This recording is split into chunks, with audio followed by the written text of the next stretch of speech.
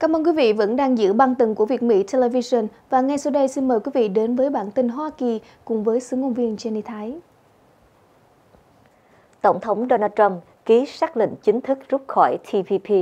Tổng thống Hoa Kỳ Donald Trump vừa thực hiện một cam kết mà ông đưa ra trong quá trình vận động tranh cử với việc ký xác lệnh rút khỏi Hiệp định Đối tác Xuyên Thái Bình Dương, viết tắt là TPP. Thỏa thuận thương mại này vốn được coi là một trong những thành công quan trọng của cựu Tổng thống Barack Obama trong chính sách Á Châu, được ký kết bởi 12 quốc gia.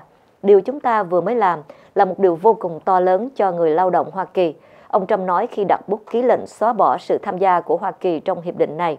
Ông cũng cắt giảm ngân sách dành cho các nhóm quốc tế ủng hộ hoạt động nạo phá thai và đóng băng việc tuyển dụng một số dạng công chức liên bang. Lệnh của ông Trump đối với TPP được nhiều người coi là mang tính biểu tượng bởi hiệp định này chưa bao giờ được chuẩn thuận tại Quốc hội Hoa Kỳ, vốn có nhiều chia rẽ. Trong thời gian vận động tranh cử tổng thống, ông Trump chỉ trích hiệp định này là có nguy cơ trở thành thảm họa cho đất nước chúng ta và nói nó gây hại cho ngành sản xuất của Hoa Kỳ. Và thêm một cuộc tranh cãi giữa chính quyền Trump và báo chí trong suốt chiến dịch tranh cử tổng thống, quan hệ giữa Donald Trump với giới báo chí là rất xấu. Các phóng viên luôn bị Donald Trump chỉ trích tại các buổi meeting trong tiếng reo hò của những người ủng hộ ông. Từ khi Donald Trump đắc cử tổng thống, những lời đã kích giới truyền thông cũng chẳng hề giảm nhẹ đi. Nhiều người hy vọng sau khi tổng thống chính thức nhậm chức, ông sẽ hòa giải với giới báo chí, nhưng họ đã nhầm ngày 22 tháng 1 năm 2017, chỉ sau 48 tiếng sau khi ông Trump chính thức bước vào Nhà Trắng, một cuộc tranh cãi đã bùng lên. Cơn giận dữ của Donald Trump bắt nguồn từ việc báo chí đã cho đăng bức ảnh cho thấy có ít người tới dự lễ nhậm chức của ông hơn so với tại lễ nhậm chức của Tổng thống Barack Obama vào hồi năm 2009. Sau khi bức ảnh này được công bố, Sean Spicer, một phát ngôn viên của Donald Trump, đã nổi khùng lên, bước vào phòng họp báo và trong buổi họp báo đầu tiên, ông này đã đưa ra số liệu sai lệch về số người dự lễ nhậm chức trên thực tế. Rồi Sean Spicer nói, những mưu toan nhằm làm giảm không khí hào hứng phấn khởi của buổi lễ nhậm chức thật đáng xấu hổ và đáng trách móc.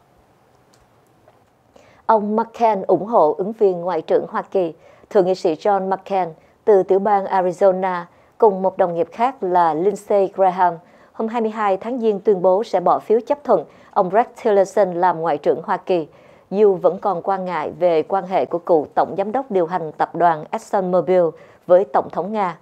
Hai vị thượng nghị sĩ có tiếng nói tại Thượng viện Hoa Kỳ ra tuyên bố có đoạn. Sau khi cân nhắc kỹ và thảo luận nhiều với ông Tillerson, chúng tôi quyết định ủng hộ việc ông được đề cử làm Ngoại trưởng Hoa Kỳ. Reuters dẫn lời ông McCain và Graham nói tiếp, dù chúng tôi vẫn còn quan ngại về các vụ làm ăn trong quá khứ của ông Tillerson với chính phủ Nga và Tổng thống Vladimir Putin, chúng tôi tin rằng ông Tillerson có thể là người bảo vệ hiệu quả các quyền lợi của Hoa Kỳ. Ông Bình nói, chúng tôi cho rằng các bên đều có trách nhiệm đóng góp mang tính xây dựng vào mục tiêu chung cũng như đảm bảo lợi ích chung này. Kính thưa quý vị. Ông Trump mời Thủ tướng Do Thái tới Mỹ Thủ tướng Israel Benjamin Netanyahu cho biết rằng cuộc điện đàm giữa ông và tân tổng thống Mỹ Donald Trump rất nồng ấm và rằng ông đã được mời tới thủ đô Washington vào tháng 2. Thông cáo từ văn phòng của ông Netanyahu còn cho biết rằng Thủ tướng đã bày tỏ mong muốn làm việc chặt chẽ với Tổng thống Trump để thúc đẩy một tầm nhìn chung nằm nhằm củng cố hòa bình và an ninh trong khu vực, theo một hãng thông tấn Reuters. Trước đó, Tổng thống Hoa Kỳ Donald Trump nói với các phóng viên rằng cuộc điện đàm giữa ông với Thủ tướng Israel Benjamin Netanyahu diễn ra rất tốt đẹp. Đây là cuộc điện đàm đầu tiên giữa hai nhà lãnh đạo kể từ lễ nhậm chức của ông Trump. Tân Tổng thống Mỹ đã cam kết hỗ trợ mạnh mẽ cho Israel trong chiến dịch tranh cử và nói rằng ông sẽ công nhận Jerusalem là thủ đô của Israel, bất chấp tình trạng này tranh chấp của các thành phố. Tổng thống Mỹ Donald Trump sẽ không công khai hồ sơ thuế. Cố vấn cấp cao của tân Tổng thống Mỹ Donald Trump là bà Kellyanne Conway cho biết người đứng đầu Tòa Bạch Ốc sẽ không công khai hồ sơ thuế, bất chấp lời hứa của nhà lãnh đạo này trong chiến dịch tranh cử trước đó. Theo như CBS, trong cuộc phỏng vấn với đài ABC vào tuần trước, bà Kellyanne Conway là một trong những phụ tá thân cận nhất của Tổng thống Mỹ Donald Trump, đã nhận được câu hỏi liên quan đến lá đơn kiến nghị được đăng tải trên trang web của Tòa Bạch Ốc kêu gọi ông Trump ngay lập tức công khai hồ sơ thuế của mình. Vào chiều ngày 22 tháng Giêng, đơn kiến nghị này đã nhận được 214.000 chữ ký, vượt xa so với con số 100.000 chữ ký tối thiểu cần có để nhận được phản hồi từ phía Tòa Bạch Ốc. Phản hồi của Nhà Trắng là Tổng thống Donald Trump sẽ không công khai hồ sơ thuế. Chúng ta đã tranh cãi về vấn đề này trong suốt cuộc bầu cử Tổng thống. Bà Conway nói, phát biểu của bà Conway trái với tuyên bố trước đó của ông Trump trong chiến dịch tranh cử. Vào thời điểm đó, ông Trump tuyên bố sẽ công bố hồ sơ thuế ngay sau khi các hồ sơ này được hoàn tất quá trình kiểm toán. Mặc dù theo quy định của luật, các tổng thống Mỹ không bắt buộc phải công khai hồ sơ thuế, nhưng từ thời tổng thống Richard Nixon thì các ông chủ tòa Bạch Ốc đều tình nguyện làm việc này, kính thưa quý vị. Năm 2016, các doanh thu tiệm ăn Mỹ giảm tệ nhất trong vòng 5 năm. Theo tờ báo Washington, các tiệm ăn Hoa Kỳ kết thúc vào năm 2016 với hình ảnh không sáng sủa, trong khi kết toán thương vụ cùng cửa tiệm yếu nhất trong hơn 5 năm.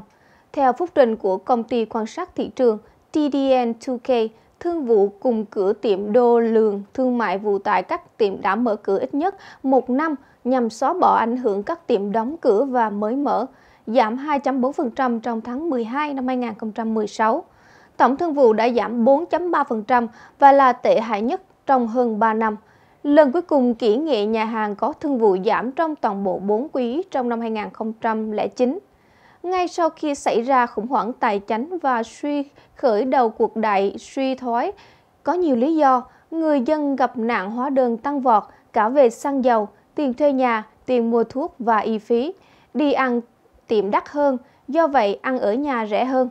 Thực tế cũng vì chỉ số giá hàng hóa trong tháng 11 năm 2016 đã giảm, cho thấy chi phí thực phẩm toàn năm 2016 đã giảm 2.2%. Joel Narop, chủ tịch Narop Economic Advisor và là kinh tế gia của TDN2K nói rằng nợ tín dụng đã tăng lên nên cũng ảnh hưởng tới thương vụ của các tiệm ăn. Tính về lưu lượng số lượt khách đi ăn tiệm trong cùng tiệm đã giảm 6.4% trong tháng 12 năm 2016, kết quả tệ nhất trong vòng 5 năm. Khi tính theo quý, lượt khách giảm 4.6%, khi tính mức dài hạn, lượt khách cùng tiệm đã giảm 4.1% trong 2 năm qua. Nhìn về năm 2017 thì các tiệm Anh sẽ vẫn còn gian nan, sẽ có tiệm thành công và tiệm thất bại.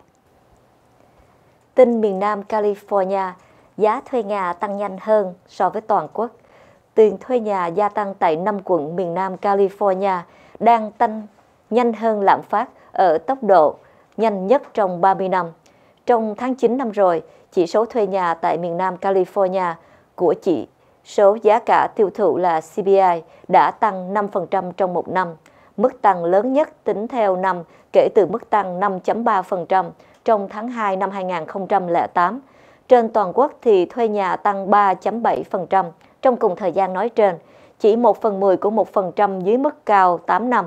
Đây là mức gia tăng đáng kể, đặc biệt trong một kỷ nguyên lạm phát ít nhất qua cách tính của chính quyền vẫn còn thấp là tăng 1.9% trong tháng 12, tháng chấm dứt trong tháng 9 tại các quận Los Angeles, quận Cam, Riverside, San Bernardino và Ventura.